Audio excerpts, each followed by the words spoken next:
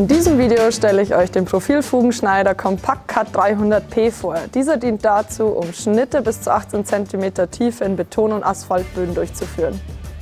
Das Sägeblatt kann stufenlos gehoben oder gesenkt werden. Auch die Sägehaube ist leicht abnehmbar. Der Wassertank umfasst 30 Liter Kapazität und ist nach vorne gekippt. Somit ist ein leichtes Wiederbetanken möglich. Alternativ gibt es einen externen Wasseranschluss. Durch den Vibrationsdämpfungsgriff verbessert sich die Bedienerfreundlichkeit des Gerätes sehr und mit Hilfe der Kranaufhängung lässt es sich auch bestens transportieren.